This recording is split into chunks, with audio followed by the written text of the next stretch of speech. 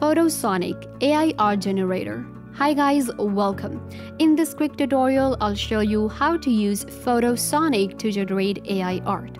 So let's get into it. The link for Photosonic is given in the description down below. You can go ahead and check it out right now. Once you click on the link, it will take you to this platform right here.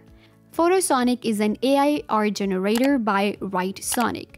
It allows you to generate AI art by entering some keywords. Nowadays, it's becoming really difficult to find free images and art. But with Photosonic, it becomes really easy. Let's say you're looking for a futuristic unicorn 3D painting. You got it right here. If you're looking for a realistic painting of an Indian woman, then you can find it right here on Photosonic. With Photosonic, we can generate art in different styles and sizes. Let me show you how.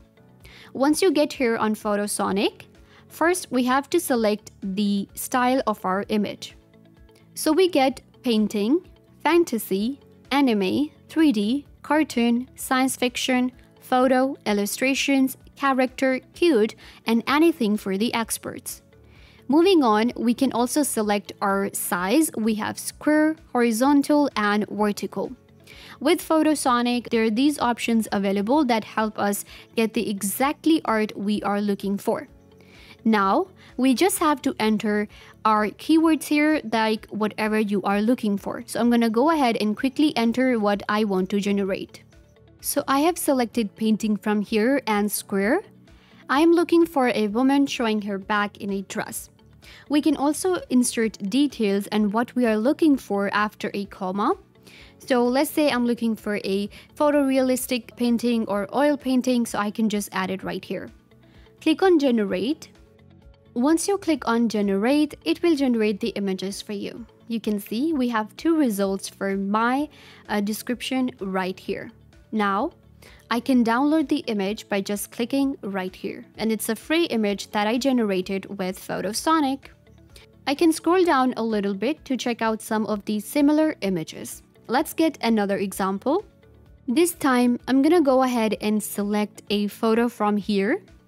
We can select the size vertical and then I have added my uh, keywords here. We have an extremely cute fish swimming an underwater planet with coral reefs. And I have also added some details for a uh, futuristic city and I want a photorealistic image.